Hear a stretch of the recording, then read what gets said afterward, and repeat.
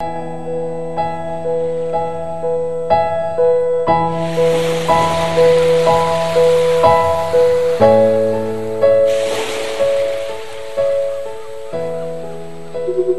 ាលោកនាងដែលកំពុងតែតាមដានទស្សនានៅក្នុងកម្មវិធីស៊ីតាន់ប៉ុស21ចានៅក្នុងពេលនេះដែរយើងខ្ញុំទាំងពីរនាក់កំពុងតែស្ថិតនៅលើស្ពានកោះពោះចាដែលមកឆ្លងស្ពាននេះអត់ខ្ញុំអត់ដែរមកនេះគឺជាលើកដំបូងហើយបាទចាបាទហើយស្ពាននេះសង្ឃឹមថាគេនឹងសម្ពោធឆាត់ឆាត់ដើម្បីឲ្យបងប្អូនយើងឆ្លងទៅលេងចានៅខាងកោះពោះចាត្រូវហើយចាពេលវេលាថ្មនេះគឺជាពេលវេលាដែលថ្ងៃរំលេចហើយទេសភាពស្អាតមែនតែនចានៅផ្ទៃសមុទ្រចានៅពេលដែលបងប្អូនប្រជាពលរដ្ឋរបស់យើងថ្ងៃជប់សម្រាប់ក៏ចូលចិត្តមកដល់លេងកម្សាន្តនៅតាមឆ្នេរមិនថាអញ្ចឹងហ៎ចាឆ្នេរសមុទ្រកំពង់សំយើងគឺជាចាឆ្នេរសមុទ្រស្អាតចូលចំណាត់ថ្នាក់លេខលេខ1នៅលើពិភពលោកចាឆ្នេរដែលស្អាតជាងគេបំផុត ចា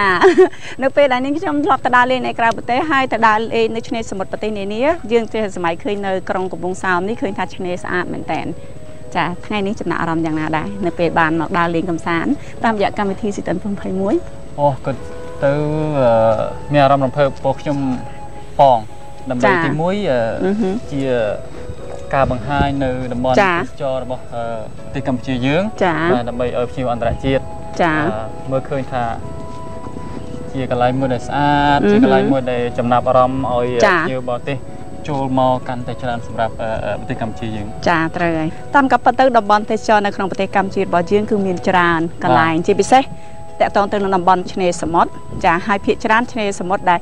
អ្នកដែលមកដើរលេងកំសាន្តច្រើនជាងគេនៅឆ្នេរអូជាទៀលនិងឆ្នេរហាវ៉ៃបាទចាហើយនឹងអូឈើទៀលចាចាហើយឥឡូវនេះទើបនឹងកើតទីចម្រើនបន្ថែមទៀតគឺនៅអូត្រេស អូត្រេសបាទចាឥឡូវយើងទៅឈរហាងបន្តិចអីដើម្បីមើលទេសភាពមើលទេសភាពយ៉ាងយ៉ាងកំពុងល្វើយពីលើស្ពានទៅចាប់ពីលើស្ពានកោះពោះចាស់ទៅផ្ទៃសមុទ្រ តាមក៏ប៉ុតទៅមានទស្សនិកជនជាច្រើនគាត់មានការនឿយឆ្ងល់ពីជីវិតតខ្លួនរបស់ហេងបន្លាបចាបន្ទាប់ពីរៀបអាពាហ៍ពិពាហ៍ហើយក៏ផ្អាកសិល្បៈតែម្ដងហើយរយៈពេល7ឆ្នាំដែលត្រូវបានបោះបង់ការងារសិល្បៈចោលហើយទើបតែនឹងចាប់ផ្ដើមចូលខ្លួនប្រឡូកនៅក្នុងវិស័យសិល្បៈវិញមូលហេតុអ្វីដែរ ខ្ញុំរយៈមុនយើងបានរវល់នឹងបញ្ហាការងារច្រើនអឺ business យើងច្រើនអញ្ចឹងកាលមុននោះក៏ជួយម្ដាយក្មេកផងជួយនឹងការងារខ្លួនឯងផងចាបាទអញ្ចឹងទៅខ្ញុំអមរយៈពោះកាលណាខ្ញុំមានអត់មានពេលវេលាគ្រប់គ្រាន់សម្រាប់ផ្ដល់ឲ្យព្រឹត្តិការណ៍ឬកម្មវិធីទូទៅផ្សេងៗខ្ញុំមានអារម្មណ៍ថាវាអត់ perfect អញ្ចឹងខ្ញុំឈប់ ឈប់ដាច់ហ្មងទៅបាទដល់ពេលយើងច្រើនឆ្នាំទៅក៏យើងធ្វើការទៅវាហត់នេះពេលយូរយូរទៅចង់ជ្រុះស្អល់នេះគឺជាបញ្ហា business ដូច្នេះហើយក៏ពេលដែលយើងមានពេលទំនេរខ្លះក៏ខ្ញុំសម្រេចចិត្តនឹងចូលមកវិញដើម្បី refresh អារម្មណ៍ជាពិសេសថ្ងៃនេះមកគឺចាបាទមកចំទេសភាពជួយជួយរយៈពេល7ឆ្នាំដែលបន្លាបមានការនឿយហត់នៅក្នុងការងារដល់ពេលមកដល់នេះយើងចាប់ដើមទម្លាក់ការនឿយហត់ទាំងបានមកចោលមែនទេអត់ទេពិតជាសប្បាយមែនបាទចាចាកាលវើត្រឡប់ចូលសិល្បៈវិញនេះតើគិតថាបន្លាបចូលប្រឡូកវិស័យសិល្បៈពេញទំហឹងតែម្ដងគឺមួយគឺគិតថាតែមួយរយៈខ្លីទេ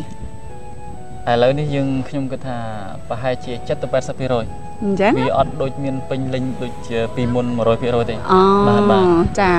អឺចាប់ផ្ដើមមាន ខាងផលិតកម្មនានាក៏តំណាក់តំណងថតរឿងហើយឬណីបាទអឺមានផលិតកម្មពីរបីផលិតកម្មដែរគាត់ថតស្ពតថតរឿងភាគបាទប៉ុន្តែមិនទាន់មានរឿងដុំការលុបមុនទៅយើងសម្បូរផលិតករដែលផលិតរឿងដុំទៅយើង បានលុយលឿនដែរចារឿងភាគរឿងយូរបន្តិចណាចំមចប់មួយរឿង3ខែ3ខែ4ខែទៅតាមវិធានសាស្ត្ររបស់មេអញ្ចឹងបាទចាចាតាមពិតទៅសិល្បៈពេលខ្លះហើយត្បិតតែតែយើងប្រកបមុខរបរអ្វីក៏ដោយប៉ុន្តែយើងនៅតែអាឡ័យព្រោះថាសិល្បៈវាជាផ្ដើម business ដំបូងសម្រាប់ជីវិតរបស់យើងមែនទេបាទខ្ញុំ ស្រឡាញ់ណាស់បើសិនជាខ្ញុំមានលុយគ្រប់គ្រាន់ឬថាយើងសល់លុយចឹងណាខ្ញុំនឹងអាចធ្វើរឿងផ្ទាល់ខ្លួនឯងឬក៏មានជាផលិតផលិត movie បាទជារឿងដុំបាទមិនមែនជាបាទខ្ញុំស្រឡាញ់ណាស់ប៉ុន្តែធ្វើមកយើងវាគ្មានធនធានសម្រាប់ទៅទៅអ្វីដែលតាមចិត្តយើងស្រឡាញ់100%បានទេអញ្ចឹងបានចូលមកដើម្បីកំដរអារម្មណ៍បងប្អូនឬការច្រៀងឬក៏ជាការលេងរឿងភាគឬក៏ដុំតែប៉ុណ្ណឹងចា តែឥឡូវនេះប៊ុនលៀបបានប្រកាសខ្លួនថាត្រូវតែប្រឡូកនៅក្នុងវិស័យសិល្បៈពេញទំហឹងហើយចាពិភពគុណវិញបាទលោកពិភពគុណវិញចាព្រោះអីអាចដល់ពេលយើងទូឪបានបាទឥឡូវនេះវាទូអូដូចជា80%ហើយចាអាចដល់ពេលគេហៅដូចទូឯងបាទមួយរឿងទៅអដែរចាអបតទូអីក៏លេងដែរបាទឲ្យបានលុយដើម្បីចិញ្ចឹមកូនចាបន្ទាប់ពីទូឪអាចទូជីតាបានទៀតណា ទៅហើយយើង20ឆ្នាំចាំតាចាតោះឥឡូវយើងដើរទៅមុខបន្តទៀតណាបាទចាចាដូចបុនលៀបបានជម្រាបជូនអញ្ចឹងនាងខ្ញុំយល់ឃើញថាអ្នកសិល្បៈជាច្រើនទោះបីជាគាត់ប្រឡូកវិស័យសិល្បៈទោះបីជាគាត់បានបញ្ឈប់ពីសិល្បៈក៏ដោយប៉ុន្តែគាត់នៅតែនឹកឃើញអនុស្សាវរីយ៍នៃការងារកន្លងមករបស់គាត់ដូចគ្នាបាទព្រោះនៅក្នុងសង្គមរបស់យើងសិល្បៈគឺជាការឆ្លុះបញ្ចាំងមួយអញ្ចឹងនៅក្នុងការសម្ដែងតួមួយមួយ តែងតែបញ្ជាក់នៅ ពីតតិភាពសង្គមចាបាទហើយនឹងលេឡំនឹងការបញ្ចូលសិល្បៈបាទចាផងបាទចាឥឡូវនេះយើងធ្វើដំណើរទៅ ខាងផ្នែកឆ្នេរម្ដង បាទចាតាមប្រទេសចង់ដើរលើស្ពាននឹងឲ្យយូរបន្តិចប៉ុន្តែនឹកឆ្នេរនឹកឆ្នេរបាទព្រោះយើងត្រូវអឺចានេះបានច្រើនដើម្បីបង្ហាញពីតំបន់មួយមួយមួយទេសចរឲ្យបានស្អាតបានចា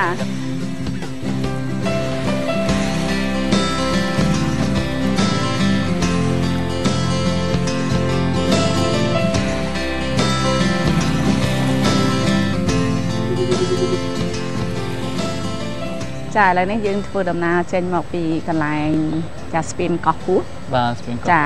ដើរលេងលេងលេងលេងឥឡូវមកដល់រីសតថ្មីមួយទៀតហើយគឺរីសតអឺ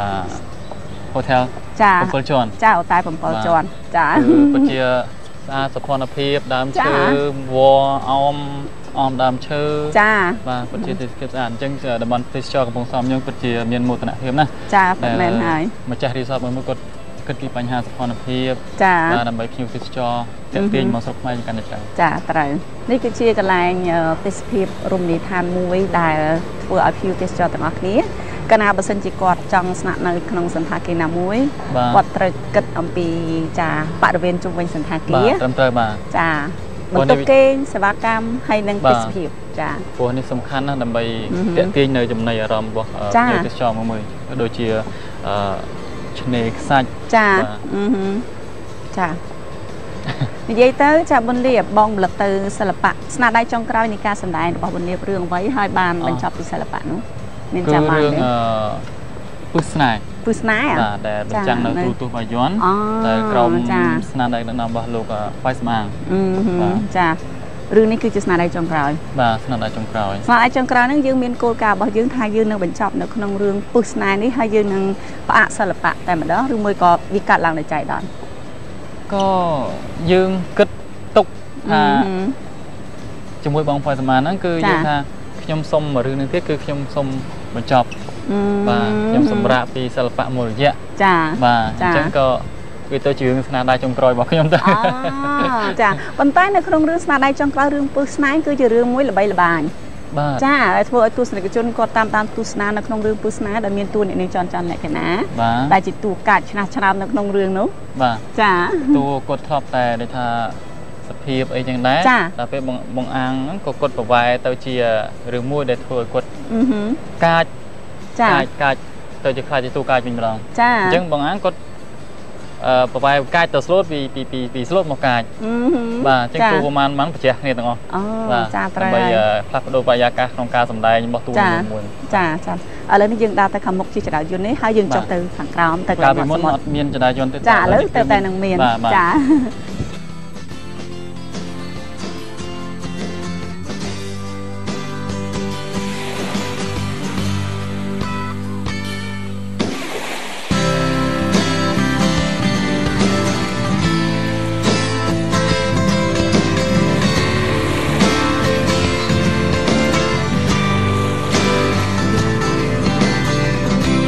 យើងគាត់ទៅចុះមកដល់ឆ្នេរខ្សាច់ភ្លាមយើងមានអារម្មណ៍ថា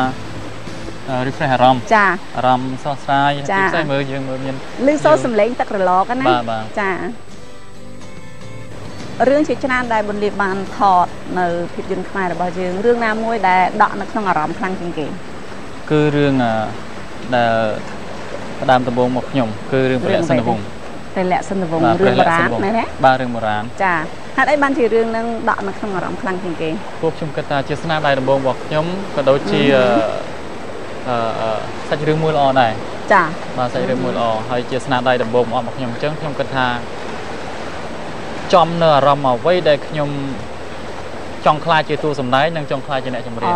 បាទតែអញ្ចឹងរឿងរឿងដំបូងដែលយើងគិតថាយើងចង់ខ្លាចខ្លួនជាតារាដ៏ល្បីទៅនៅក្នុងរឿងនេះគឺគឺគឺរឿងដំបូងហើយដែលខ្ញុំមានអារម្មណ៍មួយដែលយើងខំស្កាត់ពីបាត់ដំបងមកដើម្បីជាអ្នកចម្រៀងក៏ដូចជាតារាភាពយន្តចាអញ្ចឹងទៅក៏វាជាអារម្មណ៍មួយដែលធ្វើឲ្យខ្ញុំរំភើបដែលខ្ញុំបាន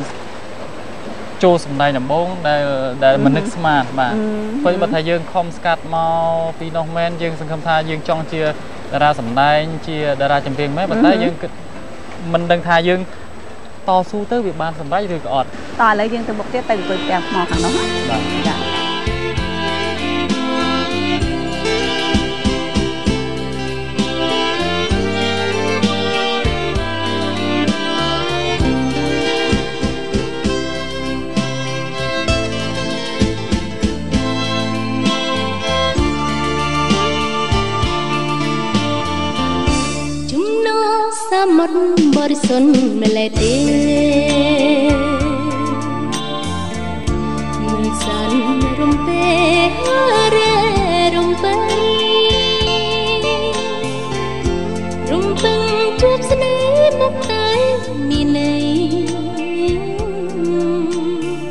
ចាយ៉ាងម៉េចដែរបុនលៀបឥឡូវយើងមកអង្គុយលើផ្ទាំងថ្ម កំពុងតែស្ដាប់រលកសមុទ្រ ធ្ងោបាទក៏ទៅបោកវីដេអូកំពុងតែបោកបក់ហើយសមុទ្រកំពុងតែធ្ងោអឺពិតជាមានអារម្មណ៍ដូចថា relax ចាមានអារម្មណ៍ស្រស់ស្រាយគិតថាបើសិនជាអឺអាកាសល្អនឹងបានមកទីនេះម្ដងទៀតចាបាទពួកយើងរវល់ការងារនៅនោះដែរចាចាអញ្ចឹងហើយក៏ មិនសូវបានមកលំហែកាយបាទចាថ្ងៃនេះអាកាសធាតុអំណោយផលបាទមេឃអត់ក្តៅហើយมันមានភ្លៀងទៀតជាងការអាកាសធាតុមេឃជាងការអត់ភ្លៀងប៉ុន្តែក្តៅតែថ្ងៃនេះអត់ភ្លៀងហើយអត់ក្តៅល្មមអាចឲ្យយើងអង្គុយលើផ្ទាំងថ្មនេះសំណេះសំណាគ្នាពីនេះពីនោះបានចាឥឡូវចេះទៅរំលឹកអនុស្សាវរីយ៍បន្តិចទៅឲ្យចង់ឲ្យបង្ហាសំនៀងប៉ុណ្ណឹងជាមួយនឹងរលកសមុទ្រតិចមើលបានអត់គឺបាត់ចាបាត់អីដែរទៅ ថ្ងៃណាថ្ងៃណាថ្ងៃណាថ្ងៃណាបាទអូចាឥឡូវខ្ញុំបង្ហាញសំនៀងបន្តិចណាដើម្បីប៉ុណ្ណឹងមួយជាមួយណាសមុទ្រក៏ដូចជាបង្ហាញនៅភាពរវឹងល្វើយនៃ